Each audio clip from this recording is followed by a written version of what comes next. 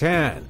Rachel Napier 29-year-old Rachel Napier was expecting a typical girls' night when she went to a Botox party at her friend's house in Leicester, England. After injecting some Botox into Rachel's forehead, the attending beautician noticed that the woman had a lump on her lip. It was from an injury she received as a teen, and it was a major source of insecurity for Rachel. So when the beautician suggested lip filler, she readily agreed. What she didn't realize is that the beautician was an unlicensed ex-con, and she accidentally injected the filler into an artery. Rachel woke up later that night and couldn't feel her lips.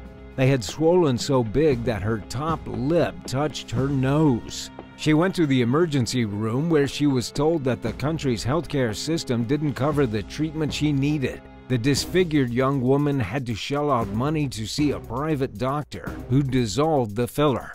Within three days of visiting the doctor, Rachel's lips were thankfully back to normal.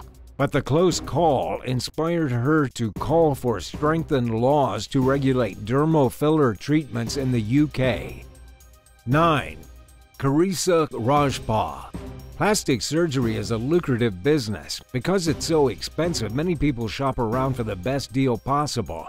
And there are plenty of unlicensed crooks out there who are willing to put people's lives on the line by performing DIY treatments for a quick buck. In late 2019, 26 year old aspiring social media star Carissa Rajpal began a series of butt lift procedures at the Encino, California home of mother daughter duo Libby Adame and Alicia Gomez. The pair allegedly pretended to be specialists and injected Rajpal's rear end with cosmetic substances that were mixed with dangerous chemicals. Carissa died after her third session, and police charged Adame and Gomez with first degree murder. The tragedy sparked an ongoing investigation, and authorities believe there may be more victims out there, including several who were disfigured and possibly one who died. Sadly, there are an alarming number of cases of people dying from illegal butt injections. Earlier this year, 49-year-old Natika Deontay Lee of Dallas, Texas was sentenced to five years in prison for involuntary manslaughter for her role in a young woman's death. Back in 2015, Lee injected liquid silicone into a nightclub dancer's derriere.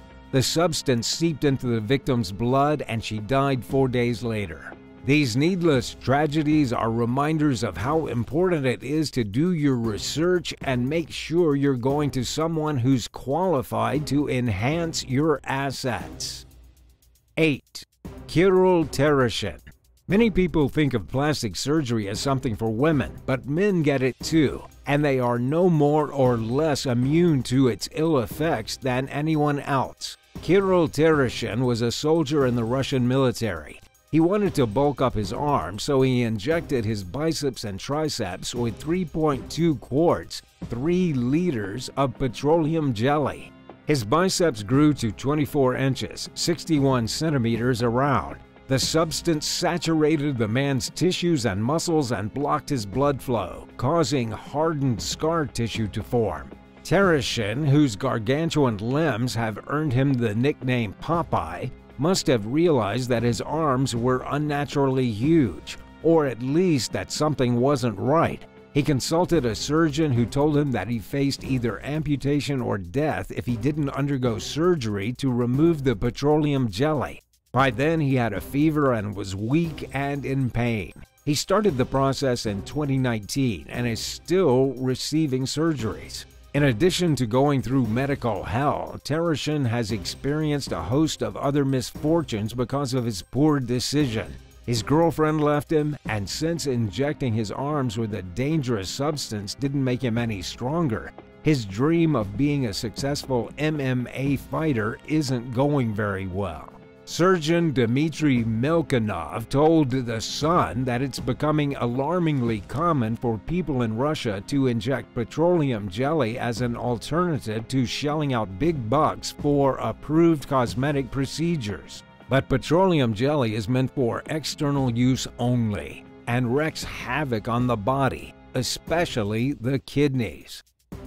7. Terrible Tummy Tuck The popular reality TV series Botched follows the stories of people who emerged from plastic surgery looking much worse than they went in. Doctors Terry Dubrow and Paul Nassif do their best to work miracles and undo the damage of less skilled surgeons. The show is in its seventh season. It recently featured a 49 year old woman named Maritza, whose tummy tucks have destroyed both her body and her marriage. Maritza got her first tummy tuck in 2019, not very long ago, and it left her with what she calls a franken belly. While she was healing, her skin kept turning black. This was because the surgeon she saw had performed liposuction before doing the tummy tuck, which Dr. Dubrow says depletes the blood supply and stops the body from healing. Doctors kept having to cut Maritza's skin off, and she eventually needed a skin graft. It left her without a belly button. Creating a belly button is one of the most difficult things to do in plastic surgery, according to Dubrow. In order to even perform the procedure, he had Maritza sign a special consent form acknowledging that she understood the heightened risks that come along with it. Thankfully, the surgery went just fine. Maritza can stand to look at her midsection in the mirror again, and she feels like a new person. But it's not lost on her that things could have gone much worse. Would you ever get a tummy tuck, or have you? Let us know your thoughts and opinions in the comments below, and if you're liking this video, be sure to hit the thumbs up and subscribe buttons if you haven't already. 6. Nikki Belza One day in 2016, a Las Vegas cocktail waitress named Nikki Belza woke up with tenderness in her left breast. At first, she thought she pulled a muscle, but she kept feeling worse and worse and collapsed at her job. Nikki was rushed to the emergency room where she later said doctors wrote off her concerns and sent her home with some painkillers. Things continued to worsen from there. Nikki developed a fever and soon learned she was in septic shock. Doctors told her that she had a 50% chance of dying if she didn't agree to have her left breast removed. Knowing the infection had spread to her blood and could soon infiltrate her other organs, she underwent the life saving procedure. Nikki lived without a left breast for months while she recovered. But it's hard for a cocktail waitress to do their job in this condition, especially in Vegas, where appearance is everything. Once she got through her agonizing post-sepsis symptoms, including graying hair, shakiness, a weak immune system, and the inability to regulate her own body temperature, Nikki underwent several reconstructive surgeries to fix her lopsided chest. 5. Carol Bryan. When she was in her 30s, a Florida woman named Carol Bryan began getting Botox injections to minimize some fine lines on her face. At age 47, she visited a clinic she'd never been to before. The staff talked her into trying dermal fillers, which add volume to someone's face in areas that are thinning due to age. After the procedure, Carol's forehead swelled up every few days but shrunk back down to its normal size. Then a few months later, Carol's forehead swelled, and this time it didn't stop growing. She returned to the clinic where dissolving agents were injected to bring the swelling down. While there, Carol learned that silicone had somehow ended up in the syringe that was used for her filler injections. Silicone is never used for facial procedures. The clinic promised to fix the woman's face free of charge with regular appointments, and Carol obliged. But her face only became more disfigured. The dissolving agent was eating away at Carol's muscles and tissue. Her skin began to sag and her forehead filled with pus. She quit her job, became a shut in, stopped letting friends and family come over to visit, and even thought about taking her own life. Carol lived as a recluse for years until her daughter, Sophia, couldn't take seeing her mom like this anymore and reached out to teaching hospitals in a desperate plea for help. Renowned plastic surgeon Brian Boyd took her case, and he was eventually able to repair a lot of the damage. Carol's road to recovery has been long and painful, both physically and emotionally. She's now blind in one eye and may never look like she did before the botched procedure but she's using her story to help others through her job as the director of Face to Face Healing, a nonprofit that raises awareness about disfigurements. 4. Louise Smith. When the world went into lockdown at the beginning of the ongoing global COVID 19 pandemic, people began joking about the weight they were gaining from their newfound sedentary lifestyle. Dubbed the Quarantine 15, these pesky few extra pounds were a mere inconvenience to most people. But the Quarantine 15 took a major toll on some people's self esteem.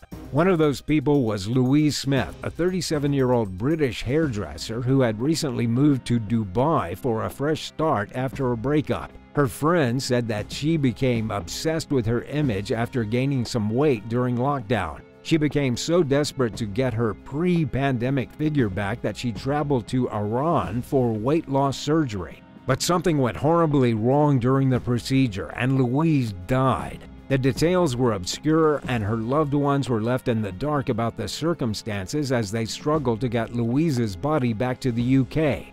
Iran is a popular place for low cost plastic surgery, but this tragedy proves that these unbeatable deals can clearly come at a cost far greater than any amount of money.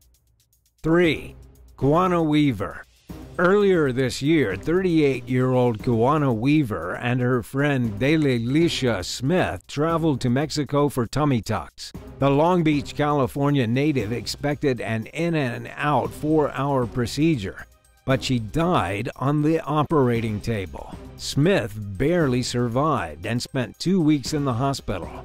Weaver's grief stricken family did some digging and found out that the person who performed Kuana's tummy tuck is not a licensed plastic surgeon. They also learned that a third woman fell gravely ill at the same clinic on the same day. She was rushed to the emergency room with septic shock and now suffers from kidney failure. An autopsy found that Kuana died from blood clotting issues and a heart attack. The clinic the women went to never pronounced Weaver dead or reported the tragedy to the U.S. Embassy. Then the business deleted its webpage, but Kuana's mother is determined not to let crooked practitioners get away with their actions.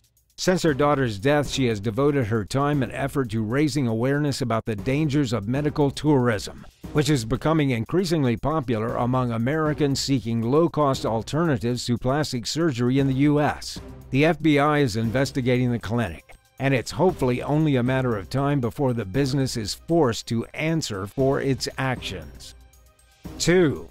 Vincenzo Zurlo 36 year old Vincenzo Zurlo first started going to Alcalira Jimenez de Rodriguez for Botox last year after meeting the Doral, Florida resident through a friend. A few months into his treatments, he asked Jimenez de Rodriguez about the possibility of getting a nose job. She agreed to do it for just $2,000, thousands less than the going rate for a rhinoplasty in the U.S. The self proclaimed practitioner sent Zurlo home with prescriptions for painkillers under a doctor's name that he didn't recognize, which immediately raised flags. Over the following months, he realized that the surgery meant to make his nose look better had left him disfigured.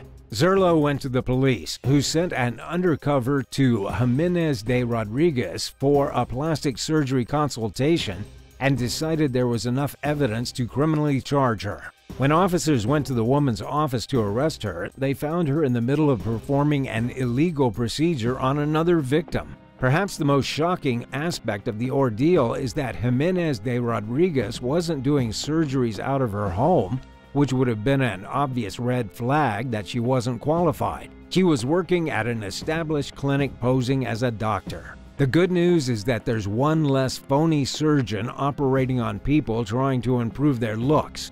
But for Zurlo, the damage is done. Speaking with NBC Miami, he summarized the nightmare in one simple but heartbreaking statement She ruined my life. 1. Anastasia Bylinskaya.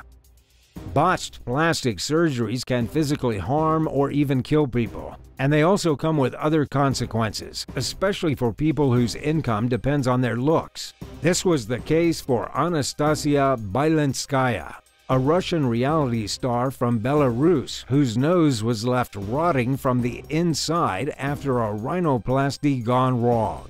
She opened up to her 159,000 Instagram followers about her suffering a few years after the procedure. By then, Anastasia's nose had deteriorated to the point where doctors said she had just weeks to save it before it decayed completely. The young woman had already spent lots of time and money trying to remedy the disfigurement to no avail, and she couldn't afford any more treatments. In a last minute race against the clock, Anastasia pleaded with her fans for donations to help her get her nose fixed. Something similar happened to a famous Chinese singer and actress named Gao Liu, who disappeared from the limelight without explanation last year. Little did her 5 million followers know she had gotten a nose job and it caused the tissue in the tip of her nose to die. Miss Gao eventually shared her story, revealing photos of her blackened nose and explaining that she was hospitalized for two months. The damage was so bad she would need more surgery, but she had to wait at least a year for some of the corrective work she had done to heal. In the meantime, Gao lost over $61,000 in wages because she couldn't work.